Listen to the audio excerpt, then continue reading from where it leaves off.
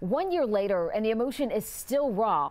Let's get you caught up. Yeah, absolutely, Jennifer. The 25 year old was out for a jog in Brunswick when he was shot and killed. No one was arrested until video of the shooting was released weeks later. Travis and Gregory McMichael are both charged with this murder, as is William Roddy Bryant. Now, Ahmaud Arbery's death sparked movements all across the country demanding justice.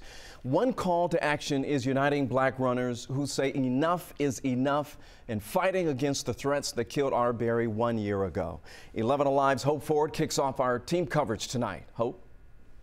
It's hard for Edward Walton to remember a time when he didn't run. My mom told me I was walking like seven and a half months right? Because I was scared of the vacuum cleaner. So when I hear it, I would jump up and run. So almost eight years ago in Atlanta, Walton co founded the Black Men Running Group with his longtime friend to encourage healthy patterns in the black community. Alison Desir started a group, Harlem Run, for a similar reason, but also because she felt there's safety in numbers. After what happened to Ahmaud Arbery in broad daylight, the Ahmaud Arbery video shook many runners to the core. I watched it once it still was a shock to my system. Desir, also a member of the Running Industry Diversity Coalition, says black runners often make adjustments for safety. No hoodies, stay away from certain neighborhoods. If a black person is running, they must be running from something. Walton remembers times when overt racism crossed his path. We've been called the N word if we drove by.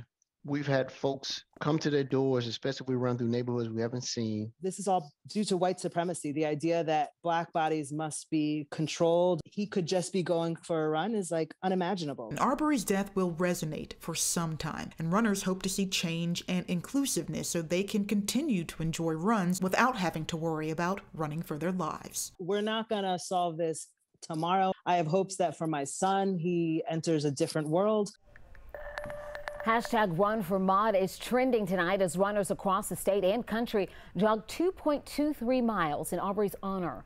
We are where Atlanta speaks, and many of you are sharing photos of your runs online. Some saying running while black should not be a crime. Others saying they're running for justice.